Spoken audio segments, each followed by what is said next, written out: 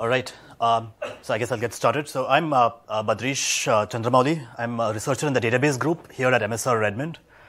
And today I'll be talking about open source uh, technologies for streaming and state management from our group, uh, focusing really on uh, two systems that we have built recently and open source called Trill and Faster. So brief background. so I work in the MSR database group here in Building 99 on uh, our group works on uh, a diverse set of research areas such as uh, uh streaming, big data analytics, uh, key value stores, uh, storage, security, transactions, scale out, you name it, everything related to basically the database platforms. Uh, recently, uh, we have uh, been open sourcing a lot of the research that we have been doing in our group, and I wanted to focus on some of these projects in this talk.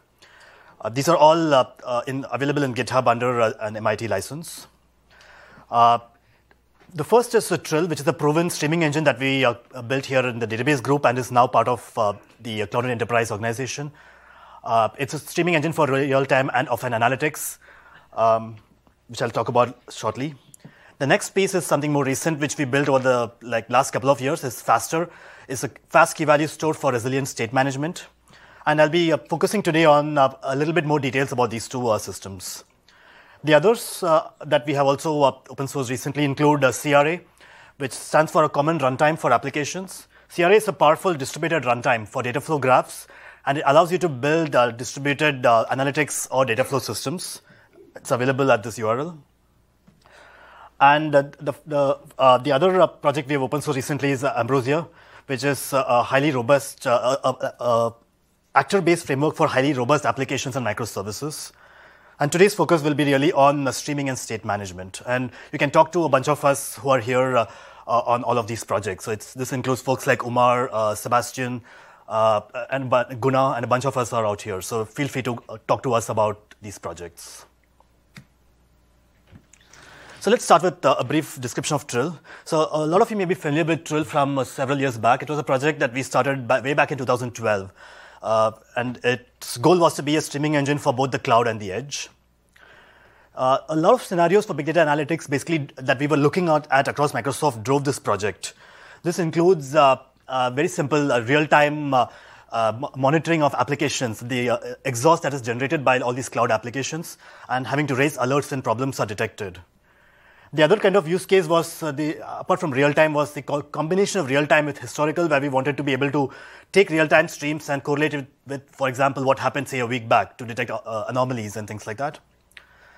Uh, offline analytics was also very important, where the logs that were being collected in these data centers had to be uh, either back uh, had to be used for either backtesting your real-time queries or to do analysis or time series analysis on these offline logs themselves. So there was a need for an engine that could support all of these applications. And we distilled out several key requirements for an engine to be handle, to handle all of those uh, kinds of scenarios. The first is performance, which is particularly important for uh, both real time and offline, right? And particularly for offline, because you take a large amount of data and you want to process them in, say, maybe tens of seconds or minutes to be able to give interactive responses to your queries. At the same time, you wanted low latency for uh, real time. Uh, fabric and language integration was the other requirement, which really meant that we, want, we wanted to build a streaming engine as a library that could be embedded in a variety of distributed fabrics. And this turned out to be a key reason for Trill's uh, success, where uh, uh it uh, just acts as a library that you can embed, for example, in systems like Orleans or uh, Scope and all of these different kinds of fabrics. The, as part of the language integration, it's also written in a high-level language, which allows us to support rich data types. And for example, this is super important for when you are performing operations that use a superset of the SQL data type system. And finally, the query model that Trill supports uh, is a superset of SQL. It supports temporal, it supports pattern detection, and all of those kinds of uh, uh, features.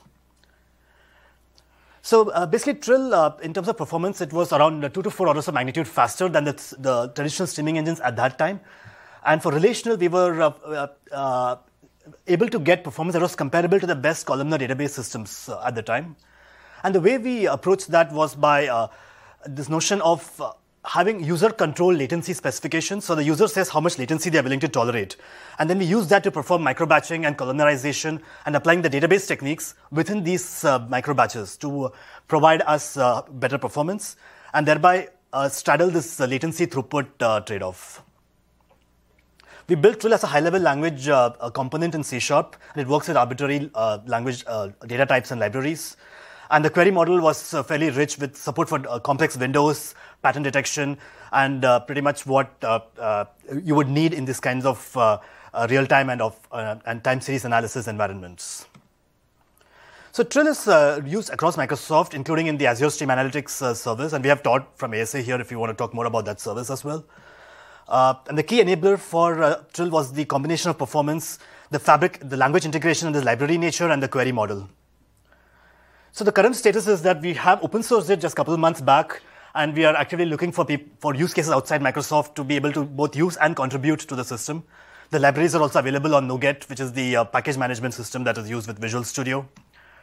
Uh, it works on .NET Core, so you're not really restricted to Windows. We can use it on uh, Linux. It, it, works on the edge, works on the cloud, and it's pretty much a very uh, kind of reusable component that might be useful in any form of real-time or offline time-oriented analysis that you may be interested. We've also been doing work on combining Trill with the, the other systems that I mentioned earlier. For example, Trill with CRA gives you a, a system called Quill, which is a multi-node uh, streaming analytics system. And uh, uh, uh, you can also use Trill with uh, some uh, systems like Ambrosia to build real-time pipelines, and with Faster to externalize your operator state, as Trill is a pure in-memory uh, system. so the next project I want to briefly overview is Faster, which is a relatively newer project which we've been working on. It's an embedded key value store for state management, and the basic problem that Faster addresses is that particularly uh, it kind of uh, grew out of the our experience with Trill, where Trill was used in these large-scale uh, distributed uh, uh, pipelines with managing huge amounts of state. For example, in Bing, uh, they have billions of users or ads in the system where, which, for which you have to maintain some state and update them as new data arrives in the system. This also includes stateful applications such as IoT device tracking, data center monitoring. All of them are super stateful. So by state, I mean like uh, uh, you have a large number of independent objects. This could be uh, users in the system or advertisements in your pipeline. And uh, you have some amount of state. For example, this could be a machine learning model or some uh, statistics for every single object in the system. Now, the aggregate state is so large that it does not fit in memory. And this is particularly problematic even for edge or multi-tenant uh, use cases where you're indexing a huge amount of state, but uh, you don't want to be uh, you don't want to uh, provision for the entire state. And uh, uh, the kind of operations that you perform on the state are very simple typically. It includes point operations right? I mean you just do a hash lookup uh, look up a particular object and maybe do some operation on it or maybe you perform an update on the object. So you read the old cpu reading and maybe increment it or, and things like that of course the state needs to be recoverable uh, there's a particular property that we can uh, exploit in these kinds of applications is that even though the amount of state is large, uh, for example, in a search engine, you have billions of users who may be alive in your, say, seven day window of data that you're uh, maintaining. But the number of users who are actively surfing the web or kind of doing actions at a given point may be a small fraction. So this could be, for example, only millions are actively surfing and being updating their uh, statistics at any given point. So we wanted a, a system that could exploit this, uh, this and, and uh, reduce the amount of memory footprint that would be required to uh, handle the, the, the, state in these kinds of applications. So faster is a result of this, uh, uh these requirements, and it's a latch-free concurrent multi-core uh, hash key value store. It's designed for basically a shared everything uh, environment where you have a bunch of threads talking to a shared memory and having some kind of backing store in the end. It's designed for high memory, high performance, and scalability across threads. So it's a multi-threaded latch-free system. It supports data larger than memory, so you can uh, basically uh, tune the, uh, uh the, the hot working set and exploit the temporal locality so that the hot working set stays in your main memory and the older data kind of uh, spills off to uh, secondary storage or tiered storage. And this could be things like Azure Blobs or cloud storage in general. The performance uh, uh, very good when your working set fits in memory. So, for example, if uh, even if the, you're indexing data larger than memory, if your hot working set happens to fit in memory, we show that we can actually uh, uh, outperform pure in-memory data structures uh, like by, by, by significant numbers. And particularly when you start comparing it with systems that can handle data larger than memory, we are orders of magnitude better than those kinds of systems that are out there today. So for a YCSB workload on a single machine with say, a high-end machine with two sockets, we're able to, able to get around 150 to 200 million operations per second. The interface of Faster is uh, consists of both point reads and blind updates, as I mentioned, but also uh, atomic read modify write operations, which are particularly uh, interesting in streaming scenarios, where you read a value and you make an update to it. So it could be incrementing a counter or uh, updating some uh, field in your uh, in, in, your vector of machine learning model parameters. Uh, here's a brief graph of scalability of faster with respect to number of threads. So this shows that we Faster on the, on the multi-socket CPU gets pretty much linear scalability for the YCSB workload. And interestingly, it's comparable to pure in-memory data structures such as the Intel TBB hash map, which a lot of us are familiar with. And uh, uh, when you compare it to the today's indexes that are used to kind of uh, to uh, uh, handle larger than memory data, it, it, it is significantly better. Very briefly, I'll uh, kind of geek out on the next couple of slides on the system architecture before kind of stepping back and pro providing the, the current status of the project. So it does a bunch of threads talking to a hash index in Faster, and it's the index is backed by what we call as a hybrid log, which is a log of all the records that are, have been uh, that are being accessed.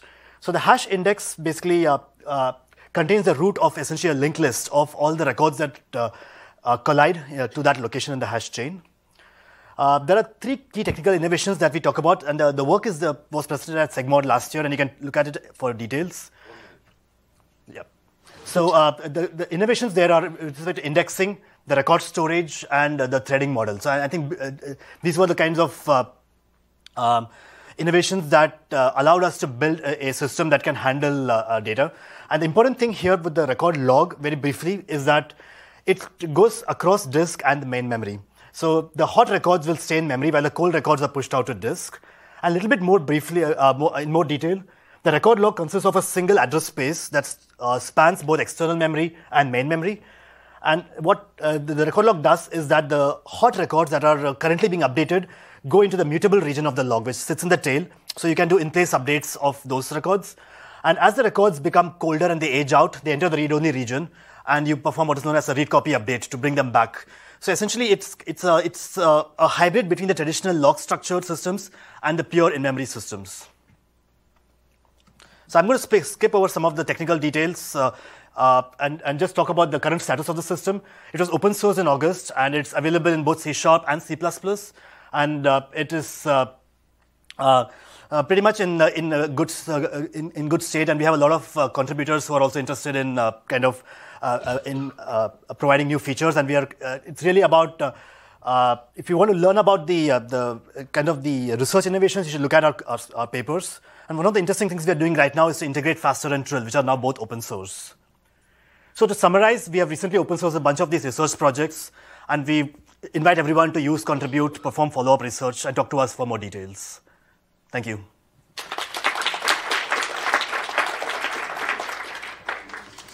Okay, I'll, I'll suggest Dana to come up, and um, is Dana here? Oh, Janet, Janet is not. Um, while while Badr is taking questions, any questions for Badrish? Yeah. So this works on a single node. How does it how does it spread? Right. So uh, these are components that uh, so we have, we've approached this in a layered approach. So we first build the single node components. In fact, a single core component that we kind of generalize to, to multi-node.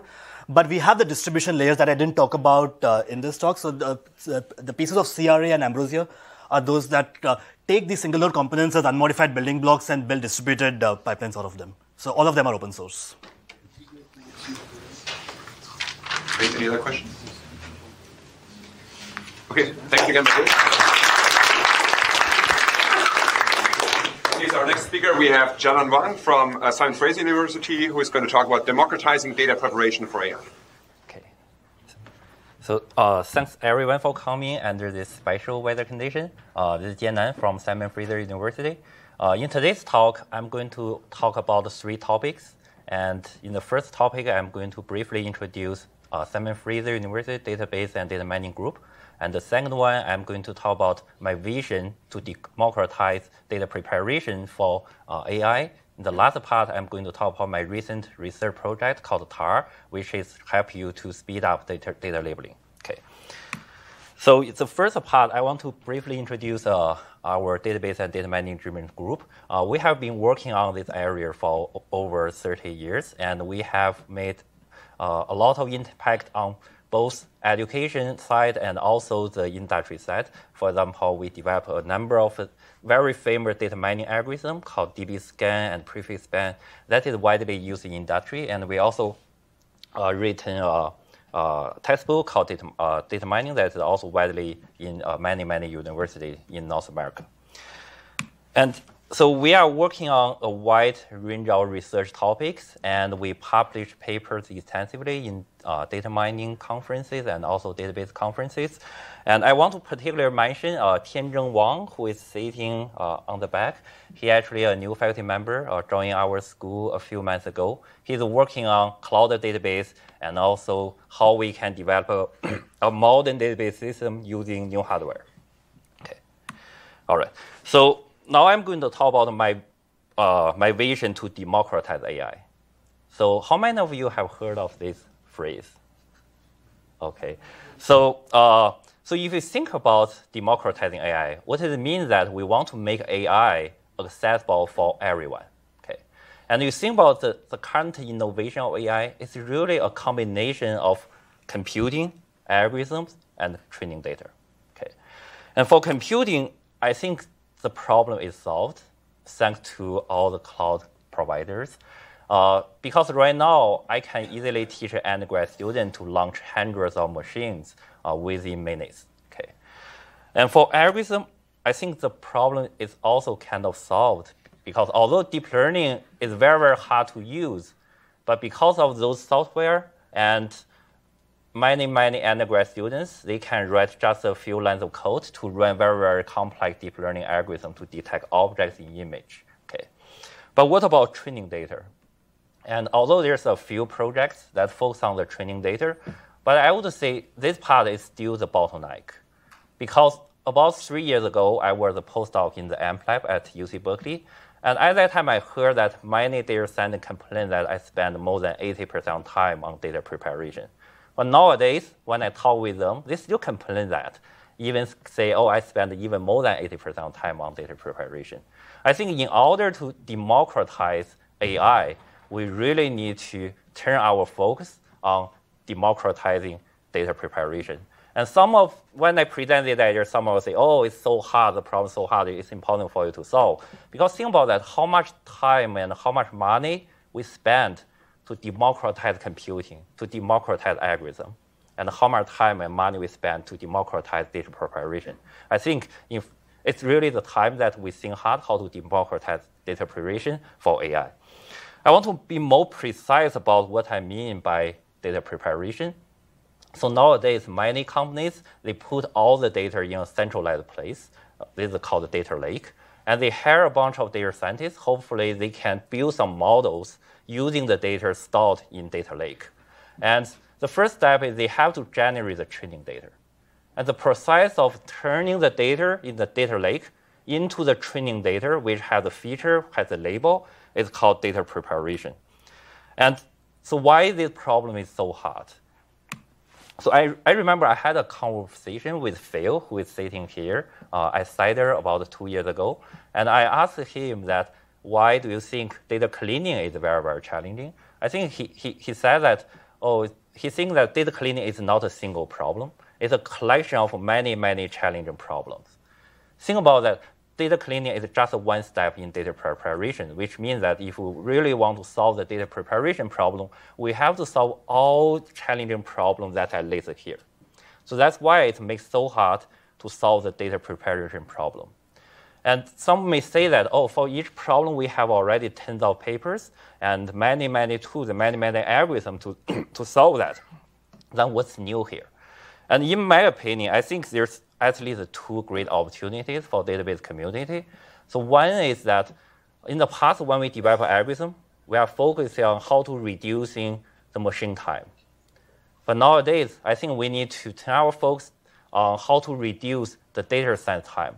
So imagine we develop an algorithm. We need to ask ourselves, if there's no such approach or no such tool, how much time that data scientists spend to do this task? If they have the tool, how much time they spend to do this task?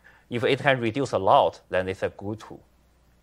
So in order to reduce the data science, data science time, we have to make sure our method is easy to use, is extensible, and also has a com- good composite, uh, composability property. And another great opportunity I think we may have is uh, we can apply advanced machine learning technologies. So I know there's a talk later talk about automated machine learning. I think why can't we apply automated machine learning to solve some challenging data preparation problem? Because many problems in data preparation is essentially machine learning problem. We don't really need data scientists to rebuild the entire machine learning pipeline to solve those problems. And also the meta learning. So because when, when I talk with uh, uh, several banks uh, in Canada, so basically they all want to do the same thing. So they want to build a churn prediction model, they want to build a fraud detection model, they want to build a financial product recommendation model. Why can't we leverage the, the effort they spend to prepare the data so that if a new bank want to build rebuild all the models, they have to they don't have to rebuild they don't have to rebuild their entire data preparation pipeline. So I, I think this is a two great opportunities for the data uh, database community to solve this uh, data preparation uh, challenge. And uh, so in my lab, we have a, a, few projects that in order to fulfill this vision. And uh, uh, last year, I, present, I presented two projects. One is focused on the data enrichment, the other focused on the exploratory data analysis. And today, I'm going to talk about the TARS, which is focused on the data labeling part. So we know that data labeling is very, very expensive. It takes time. Think about that, how much time we spend to build the ImageNet. And I think a very promising idea to reduce labeling costs is to explore the trade-off between quality and the human cost. So imagine that I just randomly label the data, then I don't have any human cost. But my label are super noisy, it's useless. If I only ask experts to label the data, then my human cost is very, very high, but my labels are of high quality. I believe there's going to be more and more points in between. For example, distant weak supervision is the idea is we can allow people to define some rules so that they can use the rule to automatically label the data. For example, we can say for every tweet, if they have a smiling face inside, then it must be a positive tweet. So that's called the rules. And when you apply the rule to the data, we label the data, but in a noisy way. And another idea, we can use crowdsourcing they are not as good as experts, but they can actually still provide good, uh, good labels for us. So, so then the question is, uh, in the future, I, I'm pretty sure there's going to be more and more noisy training data. Then the question is, how can we deal with the noisy training data? And so, in fact, this problem has been studied in the machine learning community for many, many years. So, there's a good survey paper. So, basically, at a high level, there's two ideas. So the first idea is we don't do any data cleaning. We just ignore, we just treat all the noise labels as the ground truth labels. Hopefully that the model we build can tolerate those noise. Because many machine learning models, they are very robust, they can tolerate those noise labels. And another idea is to machine-based cleaning, where we try to build another machine learning model to predict which instance training example could have a noisy labels. And and so I have been working on data cleaning for many, many years. And I think that the best way to clean the data, we should get human in the loop.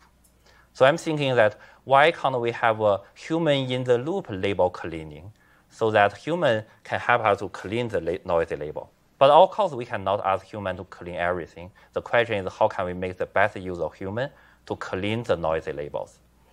And our, so we call our recent paper TARS, uh, which is named after intelligent robot in the movie Interstellar, which can always provide insights for comments to humans. And so at a high level, TARS can provide hum- data scientists two pieces of advice. So the first advice is imagine they have a noisy test data and they have a model and they want to know that if I use this noisy test data to evaluate the model and how good my model will be. And TARS can give the data scientist the, uh, the, the estimation of the true accuracy and also the confidence interval to quantify the uncertainty. And the second piece of advice that TARS can give data scientists to tell data scientists how to clean the noisy labels so that they can improve the model the most. And so due to the time constraint, I cannot uh, talk about how we do that in detail, but we have a paper that is online, then you can understand how it works. So in summary, uh, I think democratizing data preparation for AI is a really exciting topic, and we have, as a community, we have a, a great opportunity to solve this problem. And today we talk about the TARS, which is a label cleaning advisor to reduce label labeling costs for AI. And the last but not the least, we also have two posters uh, from, uh, from my students. And one is talking about how we can extract highlights from recorded live videos. Uh, this work is done by uh, Changbo.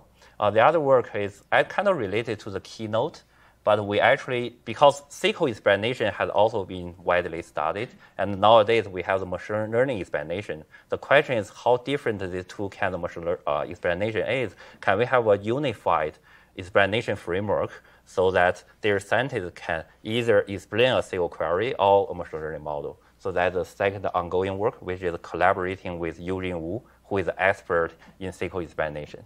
Okay, thank you very much.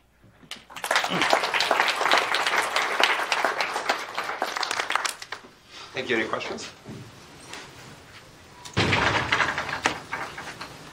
I have a question. So, uh, if we ask people to kind of help clean this uh, labeling data, uh, how different or similar is it going to be when we ask people to, for example, help clean, uh, let's say, you know, duplicate data and just understand if something is duplicate or not duplicate? Is that going to be a similar or same problem or different? Oh, it's because the goal is different. If you ask a human to clean the labels, then the goal is you want to train a better model.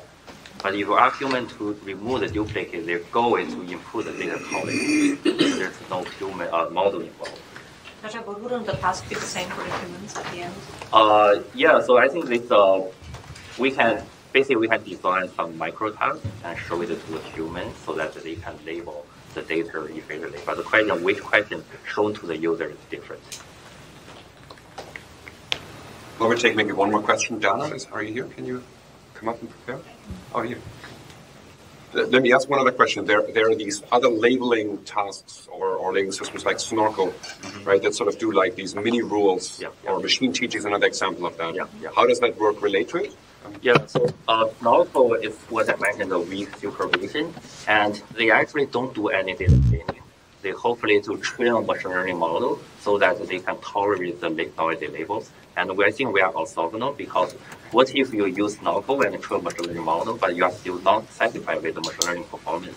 And then the question is, can we bring human inside to clean the noisy labels so that we can improve your model performance? Awesome. Great. Thanks again. Mm-hmm.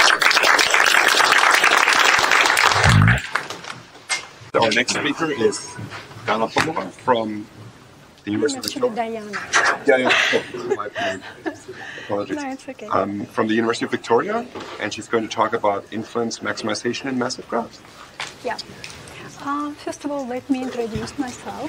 My name is Diana Popova. I am a researcher at University of Victoria, Canada. I would like to talk about two of our latest papers. One was published last year in uh, Proceedings of SSDBM, and another one is just submitted to VLDB 2019, uh, and we didn't get acceptance or rejection yet.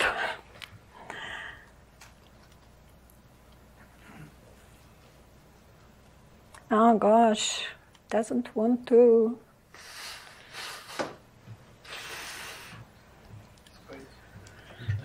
I don't know what. Click here. It doesn't work now. Perfect. Thank you. I will talk about influence discovery in graphs in general, then about algorithm scalability, and finally, I will tell you about our algorithmic solution to influence maximization problem. First of all, influence discovery. What we want? We want a graph which was given to us to mine it and discover the most important or influential nodes. For our algorithm, it doesn't matter what exactly phenomena, man-made or natural, this graph models, whatever. What we get is incidence list, which is a long, long list, just text actually, um, and that's about the node ID and another node ID. It's a list of edges for the graph. And from this long, long list, what can be received, for example, by web crawler that goes from page to page, follows links, and produces something like that without any idea what was actually written on this page and why this link is given, doesn't matter. That's the input. What we want to get is this meaningful graph structure. You can see in the middle, for example, what appears to be the most influential, the cluster actually of the most influential models, most important to some extent. We don't know what importance is actually is, but that's what we are trying to figure out to compute from the incidence list. Now, I must tell you that um, our particular concern and our particular interest was to scale up existing method of computing this importance to massive graphs. By massive, I mean with billions of edges. Graph that models, for example, Facebook or Twitter or constituency of, I don't know, United States of America for the next general election. Something like that, really massive. And to figure out how we can do meaningful and theoretically proven, guaranteed solution for the graph structure of that size. That was our thing. Now, scalability, just few words. Um, there exist tons of algorithms that do it, that do graph mining and can figure out most important nodes, for example, and whatnot. Unfortunately, it's impossible to do in practice because if graph is massive, it will take close to infinite time plus unlimited resources to really do it. So, data scientists invent more and more and more algorithms every year. The main point of them is scalability. So that, for example, on this laptop, I could figure out from incidence list the structure of huge graph. Um, it's very uh, difficult to do because uh, we don't even know how um, to compare scalability of different teams develop different algorithms written in different languages, implementation, and how to do it.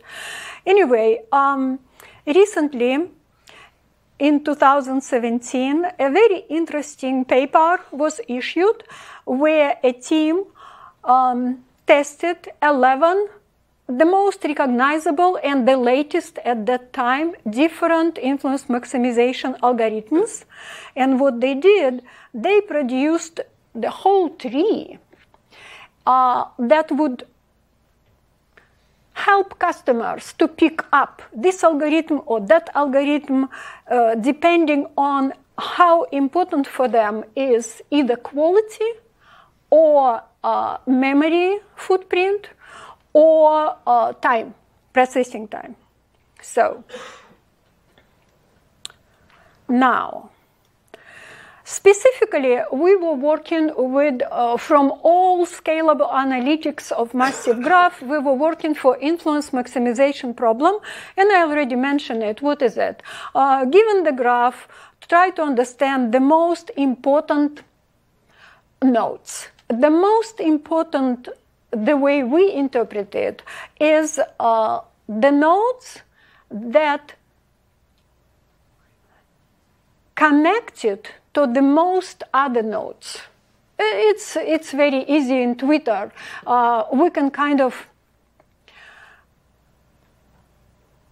approximate or evaluate or we can kind of see oh okay this particular person has 1 million followers it must be very influential person. This particular person has 30 million followers and probably it's the more thing. It's true but it's not exactly true because in general it's not just your degree um, direct connections to those things, but how influential are those other nodes, and so on. Um, theoretical works, two of them, they were uh, foundation for our research. One was lo- long ago, and second one, it's very interesting. That's Microsoft research team. In 2014, they got a US patent for this particular algorithm they suggested a new way of doing graph mining. Influence maximization problem in general can be uh, formulated as find a given number of seed nodes such that information would spread far and wide. Class in T, uh, even for approximation algorithm, for randomized algorithm. We do randomized. Uh, what is different for our approach? All previous uh, teams working on this problem were focused on cutting the time of processing because time is enormous. Even on randomized algorithms, you have to take so many samples. It takes so much time. And so they were trying to do to cut this time, to cut time complexity. We decided, because we are data scientists, to get it from a, a slightly different approach, not to the best of our knowledge, used by any other team before us. And that is to focus on data structures, data structures for small memory footprint, data structures that would allow us to first of all load graph into main memory using just small part of this main memory, and the most important, keeping intermediate result of our sampling into data structure, which again takes very little memory. So we did a lot of research, and there were several papers. But um, the breakthrough came when we started using for storing intermediate result WebGraph. Now, WebGraph it's uh, a compression framework. It's developed by Italian team from Milano, and not only developed. Uh, it's not just how to compress the graph. It's a lot of uh, different programs they wrote, and they wrote in Java, which was very close to us because I write in Java 8. Um, it's really easy for me to understand what exactly they did and how exactly they did it. And this particular compression allows to up to 10% um, to get to decrease, to go down to up to, up to 10% of graph in compressed form comparatively to the original graph. When we figure out a possibility how to compress on the flight during computation, during the sampling from graphs, how to do it for intermediate results, that was our big breakthrough. Second breakthrough is um, this idea, and that is our um, last year paper. Uh, we call this algorithm no singles, and that is like that. When you do sampling, you do trial, you try to understand how much uh, will information spread uh, from randomly picked up node. Uh, very often in real world graph, it will spread nowhere. Because there is a probability for each edge, and it's never one, which totally corresponds to real life. It's never one, even from the most uh, tightly connected people, like one family, that exactly information will spread to everyone. No, somebody will not accept it, somebody will be busy with something else, and so on.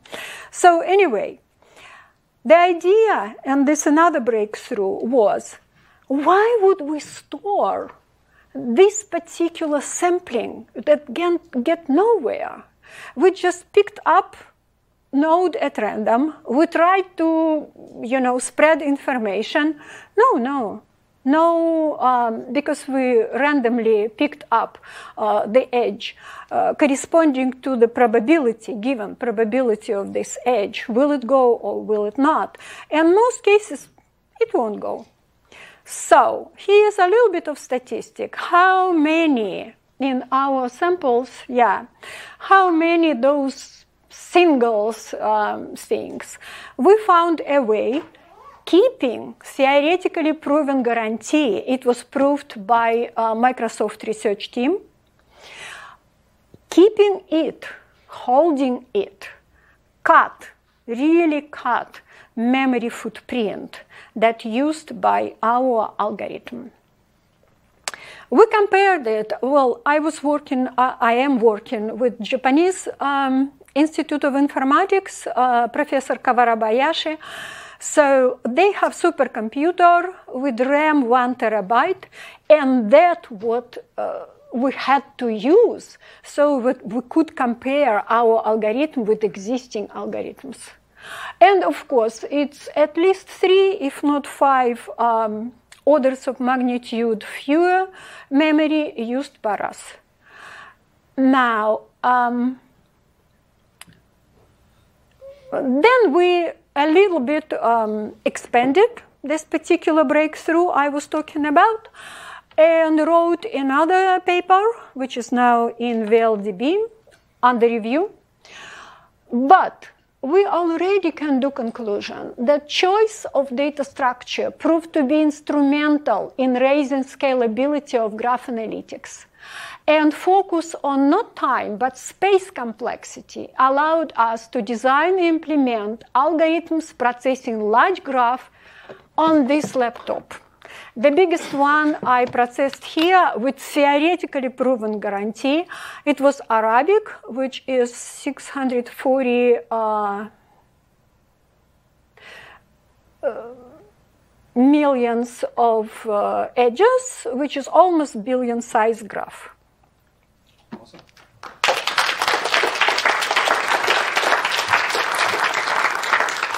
Katya, do you want to sit up while we're taking while we're taking some questions? Any questions? Yes, please.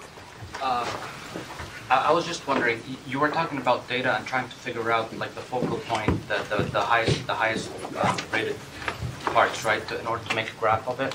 Um, I'm just wondering how did you try to apply that in a med- in a medicine scenario? Actually, it's very interesting because now um, I'm working on new paper, and that is identifying case centers clusters anyway. And I am working with protein to protein interaction graph right now. And yes, we are using those things because um, when Dr. Lee actually was presented, uh, presenting, I was immediately thinking, oh my God, they are trying to understand different factors and how important they are. That's what I'm doing, but I'm doing, of course, purely mathematics, theoretical thing. I don't care what the graph is. But come to think about it, yes, the answer is yes, absolutely. It can be done, and it's very important. Because if you can do it on laptop, you can imagine practical implications. Yeah. Awesome. Let, us let's, let's take it offline because we'll have to stay on time. Yeah, we'll, and we'll, absolutely. Long break in the middle, and um, any any be, right, right, right. Okay. Any any questions? I am here all day. I am going back to Canada only tomorrow. So. Great. Thanks again. Great. Our next talk is by Batya Kenig um, from the University of Washington, and she's going to talk about integrity constraints revision. Thank you. Uh, this is joint work with uh, Dan Suciu. Um, so I'll start by really uh, informally stating the problem. Uh, so we have a relation, and uh, we know about uh, integrity constraints, and uh, in this talk we focus on functional dependencies and multi-value dependencies. So uh, in the current setting, either an integrity constraint holds in the relation or it does not. This is something that is binary. Um, but uh, in real life, the data, we can think about the relation almost uh, meeting the uh, conditions of an integrity constraint. Um, uh, or we can say that the relation satisfies an integrity constraint to some degree. And basically, we are looking at some uh, type of uh, systematic way to relax exact implication. So suppose we have a set of integrity constraints, sigma, and another one, tau. And suppose that we know that uh, this uh, type of implication holds, and I will define what exactly uh, this implication means formally very soon. But suppose that we have some implication that holds. Um, what can we say about the, this implication if the antecedents or those that are in sigma hold only to a large extent? Not exactly, but they hold to a large extent. What can we say about the extent with which tau holds in the uh, relation? And uh, so, and this type of question has a lot of application. In particular, when we want to mine, there is a lot of work on mining approximate integrity constraints uh, in a database instance. Um, it is also used for data cleaning, and uh, in the uh, probabilistic inference literature, it is used for learning the structure of, of uh, probabilistic graphical models. Uh, so, in order to formally define the implication problem and uh, to formally define what is relaxation and so on, I will uh, introduce some uh, key concepts and ideas. Um, so the first one is conditional independence in probability distributions, and I will very soon also explain the exact relationship between integrity constraints and uh, conditional independencies in probability distributions. So we have a, probability distribution over a set of uh, random variables, and we say that A and B are independent given C if their joint probability factorizes as you see here. We say that an independent statement is saturated if it covers all of the variables, in this case all of X, and it is marginal if it is conditioned on the empty set. Um, so now that we know what uh, uh, conditional independencies are, we can uh, formally define the conditional independence implication problem. So assume that sigma is a set of conditional independent statements, like those that I showed in the previous slide, and tau is another uh, conditional independent statement. So we say that tau implies sigma, and this is the notation, if for every probability distribution that satisfies the conditional independent statement in sigma, it also has to satisfy uh, tau the conditional independence tau. Um, and in the uh, late 80s, uh, uh, Judea Pearl uh, uh, came up with uh, this set of axioms that you can see there are simple rules for implying additional conditional independent statements and showed that they are sound and that they are complete for the saturated and marginal conditional independencies. Meaning that if I, I, want that I'm capable using just these, just by activating these axioms, I can basically, we can basically uh, find all of the saturated conditional independencies or marginal independencies that hold in the distribution. Okay, so back to our setting, to the database setting. Let's say a quick uh, review of functional dependencies and multi-value dependencies. So we say that a relation satisfies the functional dependencies A determines B if for every pair of, tuples that agree on A, they also agree on B. And embedded multi-value dependencies, like the one shown here, basically holds if, uh, uh, if the projection on the set of variables in the independence is exactly uh, can be factorized, as you can see here. You see the similarity between uh, uh, probability distributions. It's the same type, some type of factorization, and the multi-value dependency or an MVD is simply an EMVD that covers all of the attributes.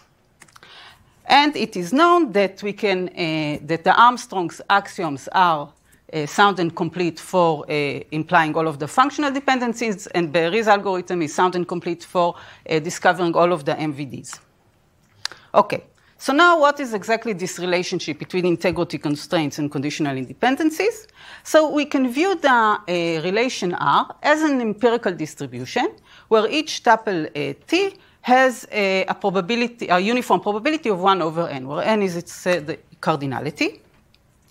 And basically, what we can see is that um, if we have the MVD uh, that given A, B, and C uh, disjoint, this B and C factorized according to what we saw, then this happens, the MVD holds in the relation if and only if B and C are independent given A in this empirical distribution. So this is the relationship. Note that this, this holds only for MVDs. It fails for EMVDs. For example, uh, this EMVD, B and C uh, factorize, uh, holds in this relation, but it is not the case that B and C are independent in the empirical distribution. This is uh, easy to see.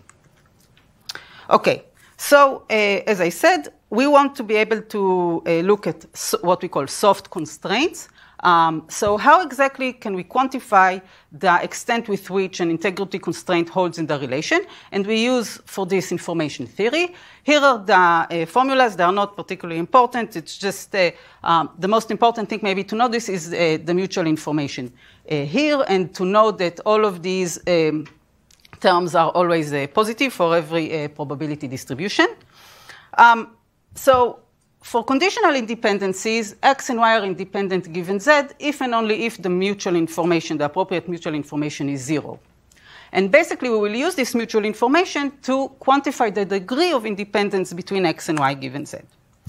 And it has been shown already in the 80s by uh, Lee that a functional dependency holds in the relation if and only if the, uh, the conditional entropy in the empirical distribution is zero, and an MVD holds in the relation if and only if the uh, appropriate mutual information is zero uh, in the empirical distribution.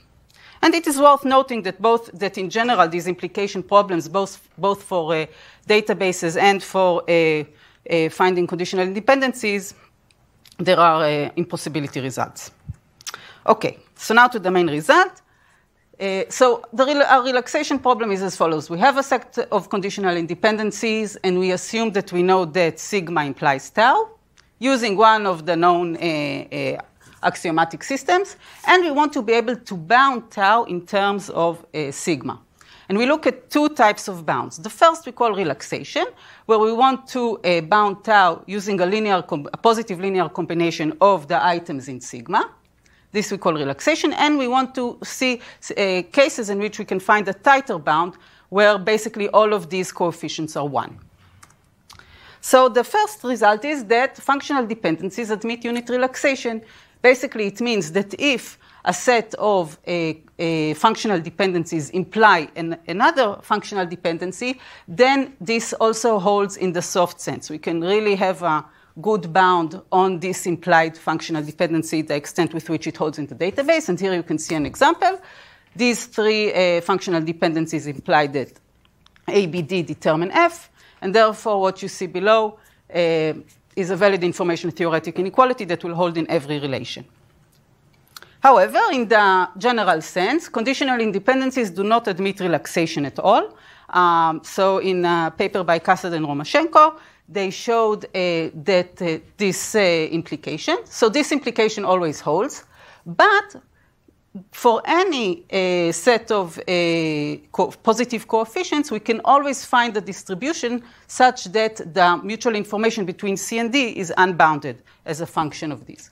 So we can see that we cannot hope to have that this relaxation always hold, but in some sense it holds in the limit because for every given for every epsilon we can find some set of coefficients that uh, can bound it. So uh, we have some uh, trade-off here in that sense. So this was a, a relatively negative result. Um, another one that uh, is positive is uh, for saturated conditional independencies, which are those that actually correspond to uh, multi-value dependencies. Um, so looking at the conditional independencies, we say that X and Y are independent. It's, we say that two pairs of conditional independencies are disjoint if uh, at least uh, uh, one of the following conditions hold, meaning either uh, X and C, the, their intersection is non-empty, or Y and C are non-empty, or uh, symmetrically the other way around. And we show, and it is worth noting that all of uh, axioms, those semi-graphoid axioms, are basically disjoint. You always use two disjoint conditional independencies in order to imply another one. So it is not, uh, so, so, so, actually this condition can be found to hold uh, in practice. And basically we show that if sigma is a set of disjoint conditional independencies and tau is saturated or corresponds to an MVD, then uh, the implication admits unit relaxation. So in that case, we can find really a very uh, tight uh, bound. Um, here is an example. So this is a very simple example uh, that uh, these two conditional independencies imply the one, that one in the end, and you can see that uh, uh, the disjoint condition holds because um, y appears here is one of the sets that uh, are in the conditional independence. And uh, indeed, this can be relaxed to this inequality. So we are capable of bounding the extent with which that MVD can hold in the relation using the two used to imply it. Um, so to conclude, uh, there is a so the, the connection between integrity constraints and information theory has been known for a long time. Um, uh, but looking at uh, this relaxation problem uh, is, a, is a new problem, really trying to find out uh, the extent with which uh, an integrity constraint holds interrelation. And uh, there are really practical directions to this because usually data rarely satisfies constraints really in a precise manner, but only approximately. Um, and so, and the main problem, problems here are really finding good bounds of those coefficients for many cases. So we showed some cases where the bounds are one. Um, we can show that the bounds, uh, we showed that in general the bounds can, there, there, are no bounds, the coefficients can be unbounded. Um, for a different, we can look at different sets of different uh, sets of these conditional independencies, and also there, uh, the bounds are not necessarily one. So this is really um, a big open uh, problem in this uh, area.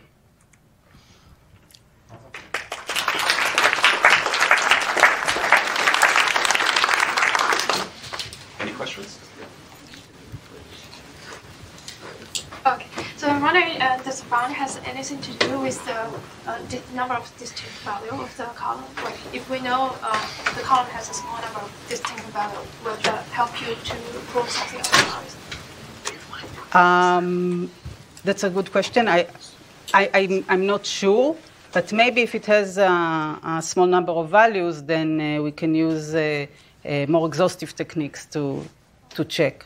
Um, but in terms of uh, uh, actually finding a theoretical uh, bound for the coefficient, I'm not, I'm not sure. It's a good, it's a good question. So many years ago, when I worked in this general area, the rude question that I never knew how to answer was what to do about the fact that these dependencies almost hold, but not quite. And I'm really delighted to see a line of work that's trying to get to the bottom of that. Your last slide says that um, this is of potential practical importance. I agree that these constraints that are almost satisfied are certainly important, but what do I do with this insight now that you've got this axiomatized and you can solve certain inference problems? How can I use that? For example, if you want to decompose a relation and you say, okay, and I know I cannot decompose it, I will lose some of the tuples in the join, but uh, given that uh, you know that uh, certain integrity constraints almost holds, then you can say, okay, I'm going to decompose it. I know I will lose some data, but it will not be too much. I can quantify the amount with which uh, it will lose. Same goes for learning uh, probabilistic graphical models. You can assume the independence. You say, I know, I know it's wrong. I know I can, they are not completely independent, but I can still treat them as such. I'm willing to uh, have that error. So you get an approximation, get an approximation to a um, to the answer. Yes. Great. Awesome. Thanks again.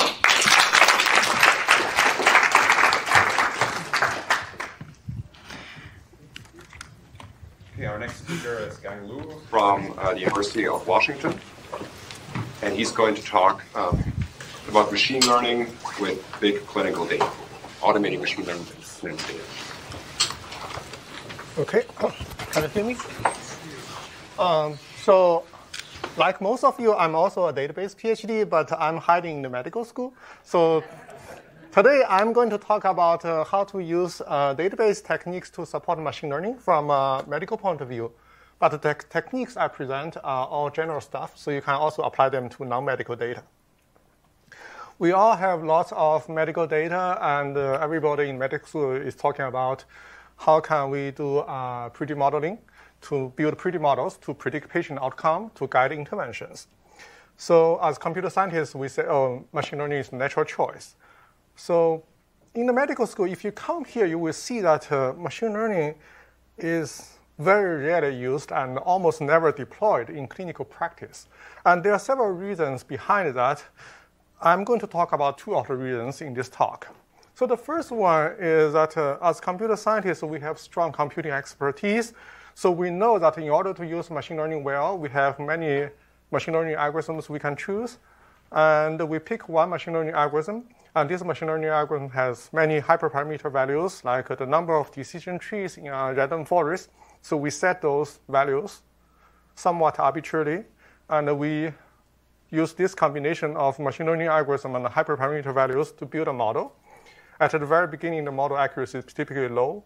So we have computing expertise, we change the machine learning algorithm or we change the hyperparameter values. Then we rebuild the model. We often do it hundreds to thousands of times. We get a model, the accuracy is good enough. But this is very hard for healthcare researchers to do because they don't have computing expertise.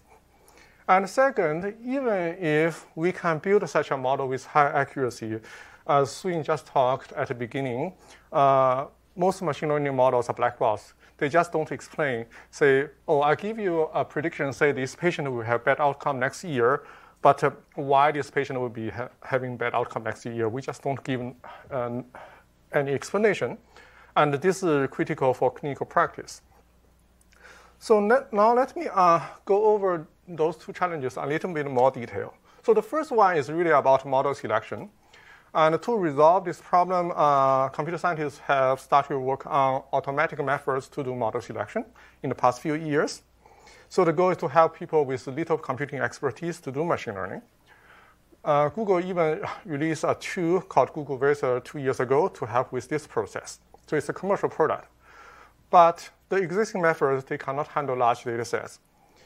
If you take a small data set, such as, say, 10,000 patients, each patient has 130 attributes, you do the search, the automatic model search can already take several days. And if you have millions of patients, each patient has thousands of attributes, that's also common in medical practice, then the search time is daunting. The Google paper showed two years ago that on the scale of Google datasets, it takes half a year to automatic do model selection for deep learning for half a year on a super large computer cluster. And in the medical school, unfortunately, we don't have so many computers, so the situation is even worse. So in order for machine learning to be widely used in the medical school, we need automatic methods, completely automatic, because the users don't have medical uh, computing expertise, and we also want to do it efficiently on large data sets. And second, uh, even if you can use a tool to build a highly accurate model, that's still insufficient. Because if you don't give explanation, say why a patient will have, uh, have bad outcome next year, the clinicians will not trust your results. They will refuse to use it. And they need to know the reason in order to design tailored interventions. And if they get sued, which is also fairly common in practice, then they have to defend their decisions in court. And for biomedical research, this can help you formulate new theories or hypotheses.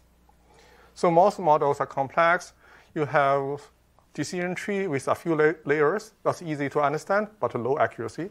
You can do deep learning or support vector machine or random forest, which is complex, can give you high accuracy. But if you just use a single model, you cannot achieve goals, both goals simultaneously, which is typically the case. But in the medical school, we want to achieve both goals concurrently we don't want to sacrifice even 1% of accuracy because that's patient's life. At the same time, uh, we also want to explain the model's prediction results you know, for a particular patient so that it can be used in clinical practice. So now I'm going to talk about our work to address those two problems. The first one is about uh, model selection.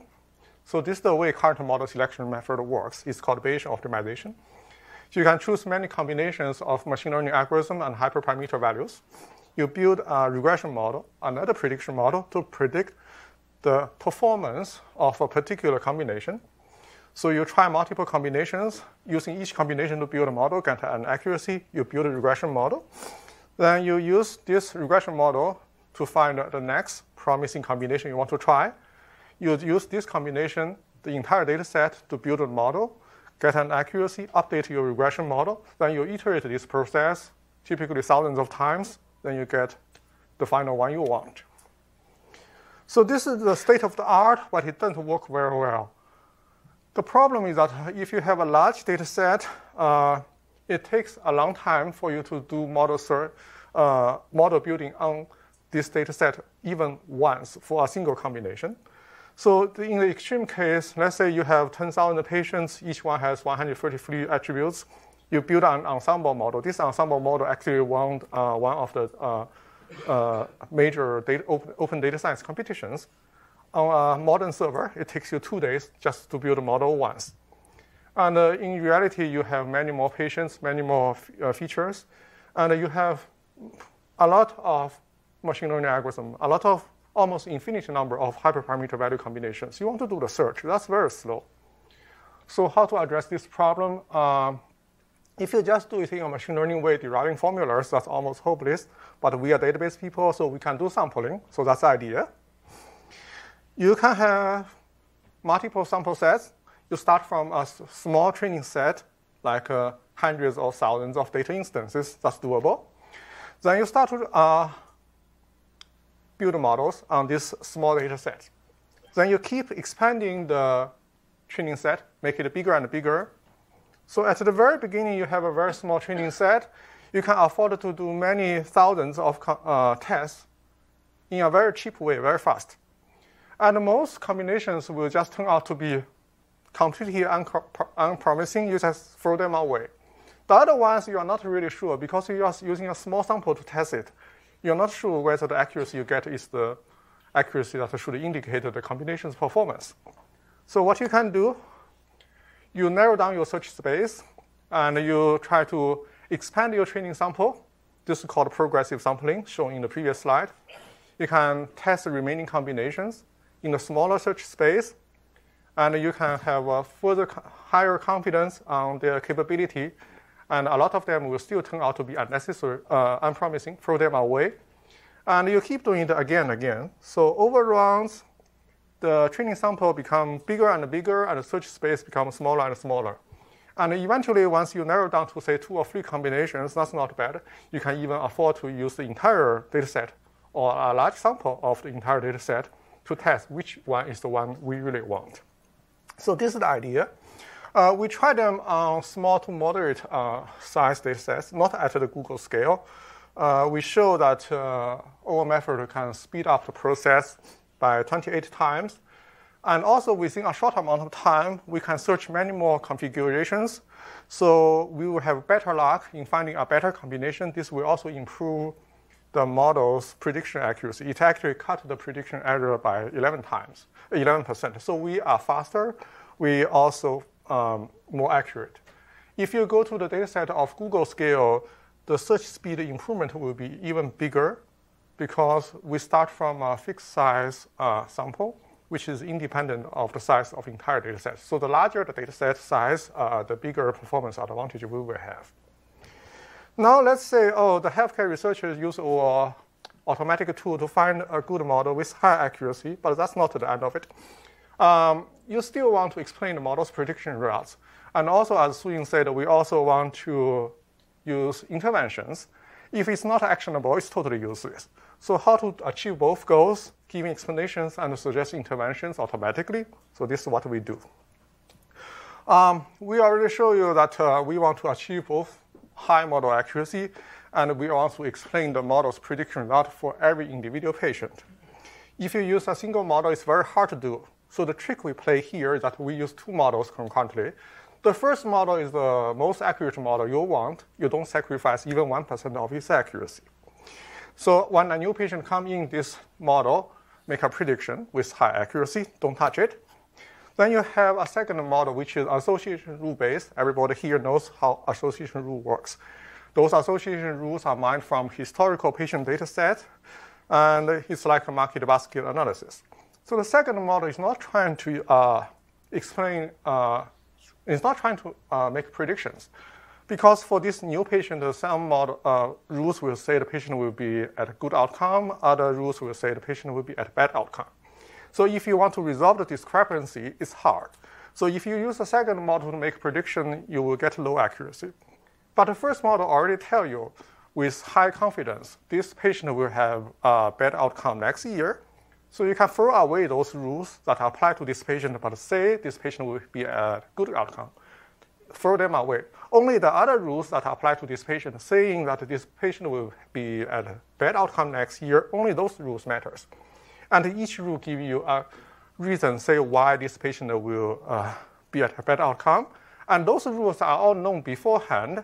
So what you can do is that once you mine those rules from the historical data set, you can ask clinicians to examine those rules, and those rules will give you hints what kind of interventions can be applied to those patients. So those interventions can be pre-compiled beforehand. When a new patient comes in, you give explanation, at the same time you suggest interventions automatically. So we achieve both goals concurrently. We cannot do this for every patient because some patients will have bad outcome for rare reasons, but we show that on a uh, data set with 10,000 patients predicting who will develop type 2 diabetes next year, we can do this for a highly accurate model for 87% of patients who were correctly predicted by the highly accurate model to have type 2 diabetes next year, we can give explanations, say why this patient will be at a bad outcome next year. So this is one of the randomly chosen rules just to give you an idea how it works. The rule says uh, the patient is using drug, and this drug is used to treat hypertension and congestive heart failure. Both diseases are known to correlate with type 2 diabetes. And the second condition is that the patient's maximum body mass index is at least 35. If you have medical background, you know that this means the patient is obese, and obesity is also known to correlate with type 2 diabetes. So because of those two reasons, we say that's why the patient uh, will likely to have type 2 diabetes next year. And here you already have an intervention pre-compiled for this rule. This intervention say because the patient is obese, you, so you should put the patient into a weight loss program. And in medicine, it's known that if you can reduce patient's weight, you can reduce the patient's likelihood of developing type 2 diabetes next year. That's known. So it's an effective intervention. So we can give you explanation. We can also suggest interventions uh, uh, automatically. Thank you very much.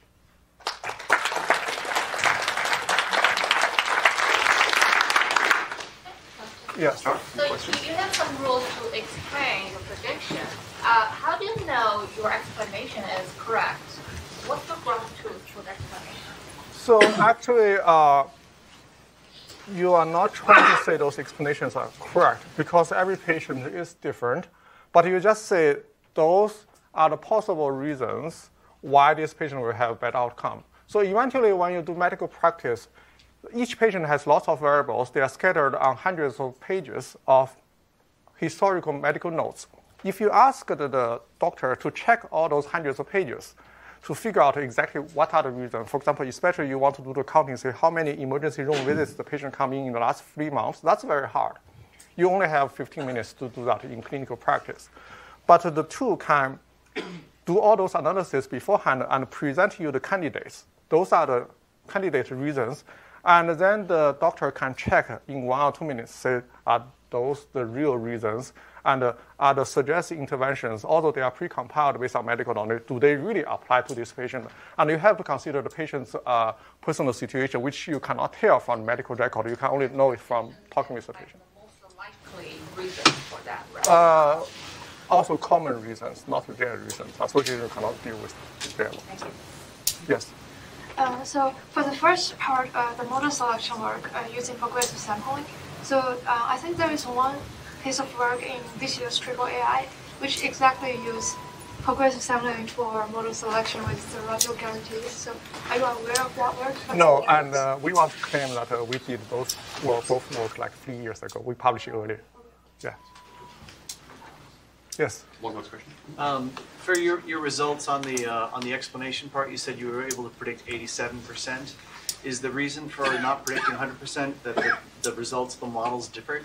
Uh, no, it's because uh, I think the reason is that for 14% of patients, uh, they are going to have bad outcome for rare reasons, and those rare reasons are not discovered through association rules. Association rule has support, right? So it only cover the common ones. Thanks again.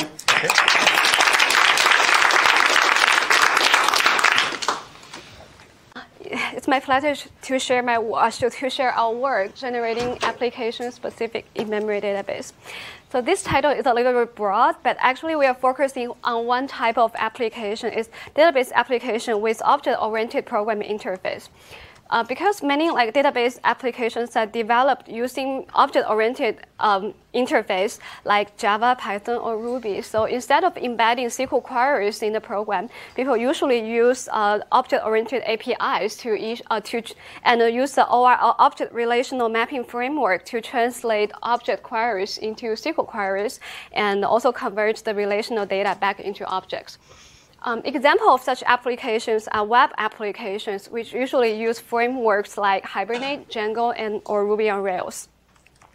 So we profiled um, 12 uh, open source, very popular applications built with Ruby on Rails, and we are surprisingly find that they are pretty slow. So with a small amount of data, usually less than one gigabyte, uh, in average, um, over three pages take more than two seconds to load.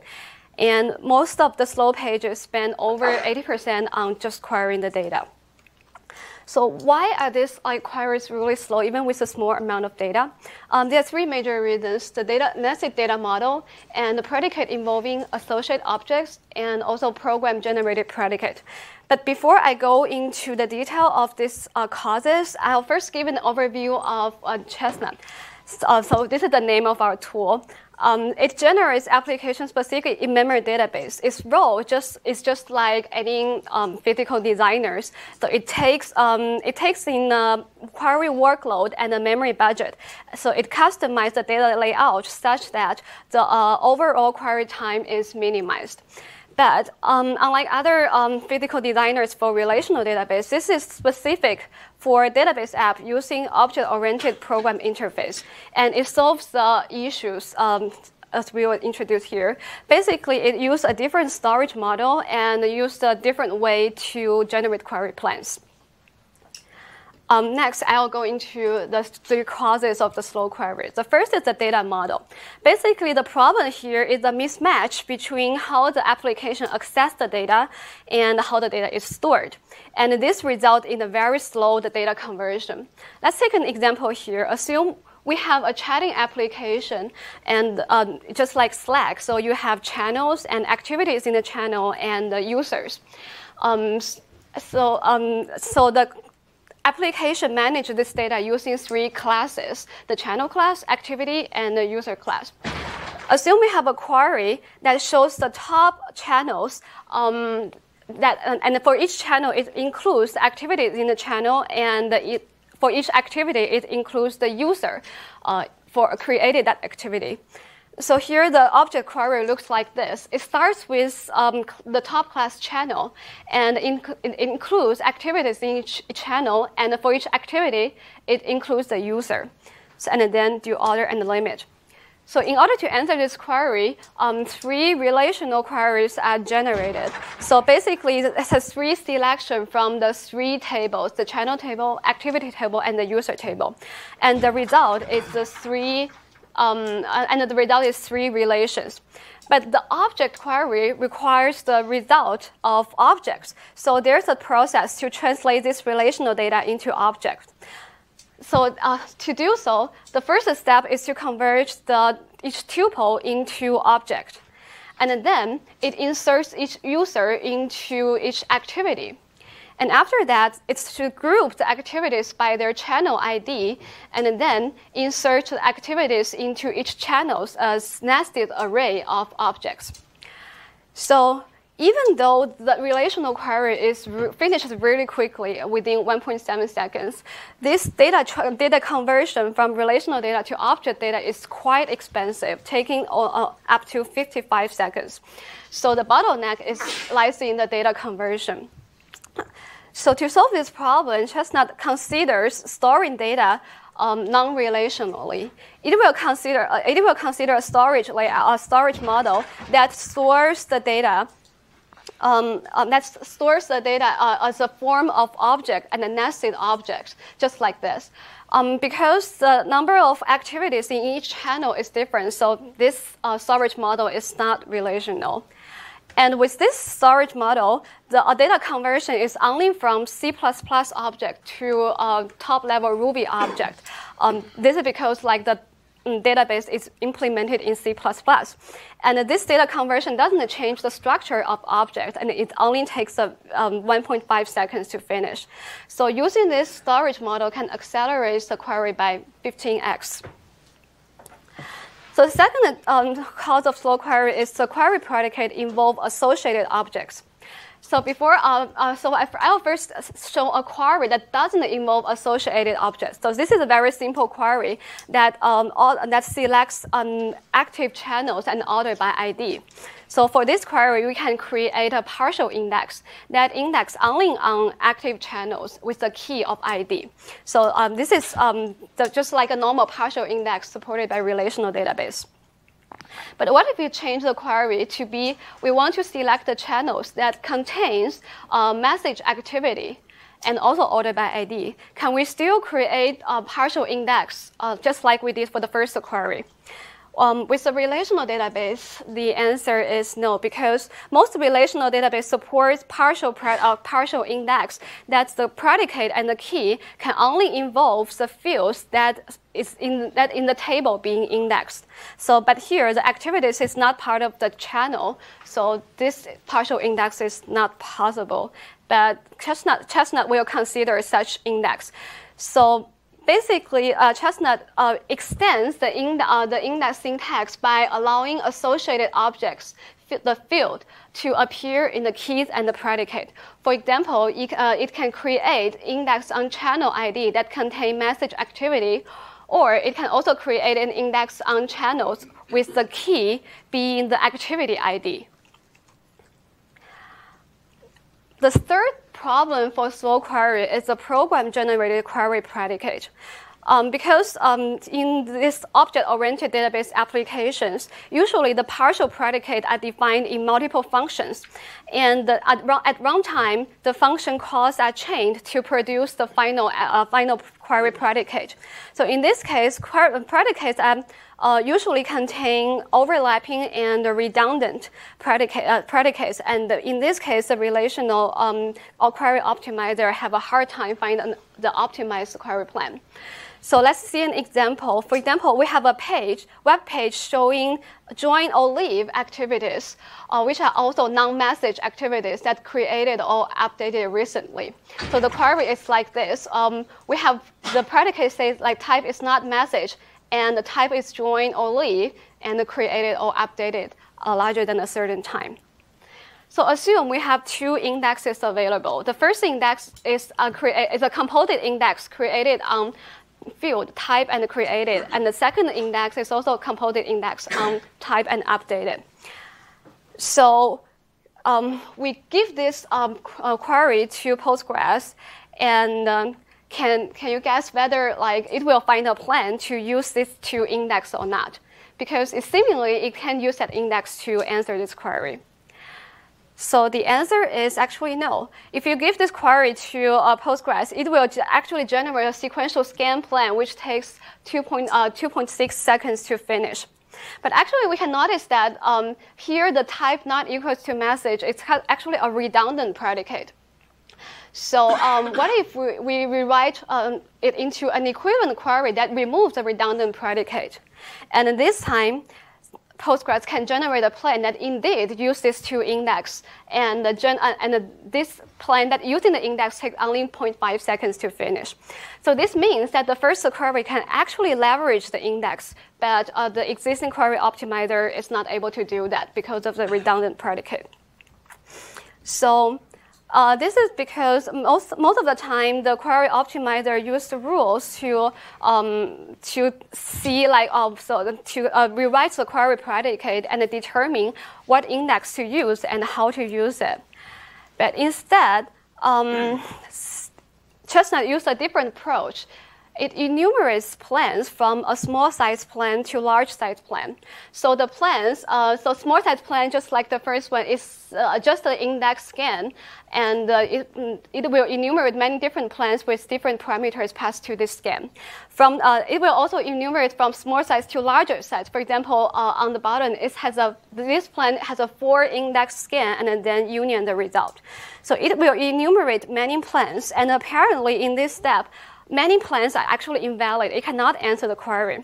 So Chestnut used a verifi- program verification to verify whether um, the, a plan is valid or not. Basically, it used symbolic execution. So symbolic execution is a process where you create symbolic tables the tables have symbolic values instead of concrete value. So when you run the query on the symbolic table, you get an expression. And when you run the query plan, you get another expression.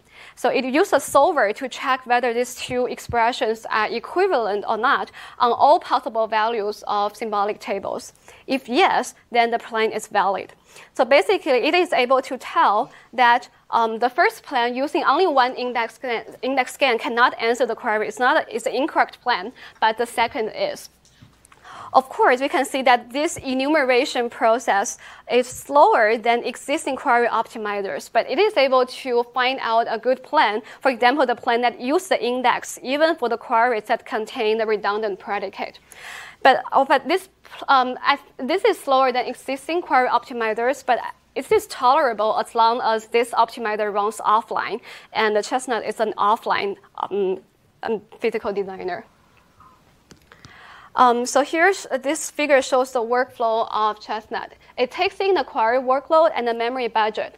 So first, it enumerates plans and storage models and the plans for each query, and then it uses some heuristic to prune uh, to prune the plans. And after that, it formulates the problem of the physical design into an integer linear programming problem. Basically, the constraints are first, each query plan uses some data structures. And the second, the use of data structures is, is within the memory budget. And the goal is to minimize the overall query time. So it used an external solver to solve this ILP problem, and the result tells um, which storage model it uses and uh, the, what, what's planned that every query uses. So based on, based on the result, it generates C++ code, um, and this code implements an in-memory database engine that is designed specifically for this workload. So now I show the evaluation. We evaluated on three open source web applications, and we compare against the three in-memory database engines, including the original application setting, which uses MySQL, and uh, Postgres, but we use an automatic indexer, indexer to fill in the missing index that may not have been created by the original, pro, uh, original application. And we also use, uh, use Hyper with automatic indexer as a baseline. So uh, this shows like the average query time of these three applications. Um, the, so we show the relative time to the original. So it, it means that the shorter, slow, uh, shorter bars are better. So we can see here a plan uh, generated by Chestnut um, has much shorter query time than the other than the other databases. And the number here on the top shows the speed up against the hyper, which gives the best performance among all the relational databases. And note that here the shaded area shows the portion of data conversion, means converting from, rela- uh, from relational data into objects. And this portion actually takes, um, takes a big, um, takes a large amount of the query time. And uh, Chestnut, you, because it uses a different storage model, it can significantly accelerate this part. And for all of these three applications, it's, uh, in, it it, Chestnut is able to find or uh, to generate the database within one hour. to conclude, uh, we, uh, we introduced a tool, Chestnut, that generates in-memory apps application-specific database, which takes in a workload and a memory budget and optimizing the overall um, and, customize the data layout to optimize the overall query performance. It uses a non-relational storage model, which stores data as objects and nested objects. And it extends the uh, index syntax and uses synthesis, a synthesis-based plan enumeration to be able to find good plans, even if redundant or overlapping query predicates are involved. And we show that it achieves significant speedup in real-world um, web applications. Um, thanks.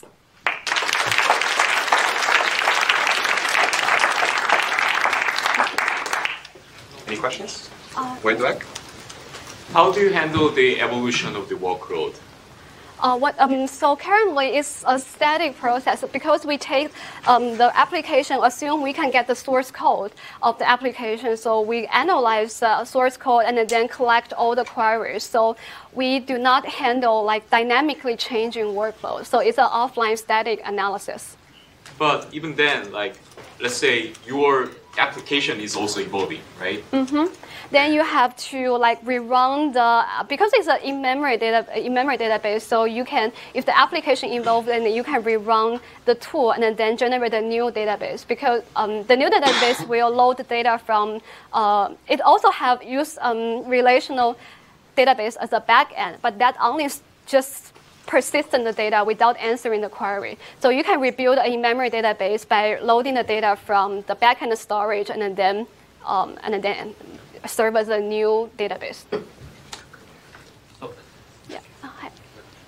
So, so it can, um, if we do have like a Postgres database or something else, can we actually can can we can Chestnut translate it into its own database right now? Um, it can, but um, that's Can you like repeat the question maybe? Oh, sorry. The question, um, I'm not sure that I understand it correctly, but your question is like, um, if you have already have a, like a Postgres database, can Chestnut translate the query into the SQL query and then issue to the Postgres? Uh, well, okay. So Chestnut, Chestnut is a is a is a query system or is it the database itself? It's a database. So it handles all the query from the application, but only holds the data in memory. So it still needs a backend storage to, to persist all the data to make sure your data is not lost. But it kind of like serve as a middle middle tier that uh, the query it answers all the queries much faster. So the if you have like a read query, you don't need to go through the backend database. So it holds, it's just like a way to hold the data in memory, but store it in a different form, in a different format, such that the data can answer the query more efficiently. I understand. I'm just wondering that if we do have a database right now, in Postgres, and we want to translate it into a way where we could query so much faster using Chestnut, will it be able to translate that or um, make its own database or so currently, we are not translating uh, the query to the backend database. So we assume that we uh, the workload has all the queries, and then like we can answer all the queries using the in-memory database. Yeah, because, um, because if you have like an unseen query that is not part of the workload, and then it will go to the backend database. Um, One last question. Okay. Uh, okay. Uh, maybe I have to, to, to actually have maybe one on the slides 15 uh, you talk about the index. Uh, slide 15. Sorry. Uh, one, five, one, one, five, 15. 15. 15. Oh, yeah. This one, this query, and the first one is that Postgres doesn't use the index. Do you know why? I believe you have the source code of the Um, yeah, so I guess I try to. So this is like a hard question. I try to read the Postgres source code, but it's too complicated for me to understand. So I tried different ways, and it turns out that it's the cardinality estimation that has a problem. So um, it will it, it will search for like in the user plan to uh, use, it will like in, um, find a plan that uses the index, but because of this redundant predicate, it greatly affects the cardinal, the cost estimation, and it determines that with the index, the cost is very large, so it determines user sequential scan. Uh, so, but I don't know exactly how it uh, do the estimation. So, I'm yeah, uh, because I believe this um, for database I know, they can use index for this kind of query. I mean, lots of, not all, I mean, at least for Teradata, I know that you can use index for this query, but the, um, uh, this one. Um, Maybe we can discuss it offline. It's a, it's, a, it's a good question. So I think all the speakers will be available now during lunch. We'll have now poster session during lunch as well. Phil has a bunch of logistics Yeah, announcements not on much. lunch. Not much, really. The lunch is the lunch is out back. Um, we're supposed to be. Ba- if we want to stay on schedule and get out early, then we should be back um, at 1:15. one fifteen. Um, and the um, in addition to all the drinks out there, there's also if you go through these doors and to the end, there's there's a refrigerator full of soft drinks and um, other things to, to drink. If, if you're talking in the second session in the afternoon, please come up here and sign the video release form already. Okay, so Yeah, and check, that, and check that your laptop works. on the, um, AV. Hey, Luis, thanks for coming. I, I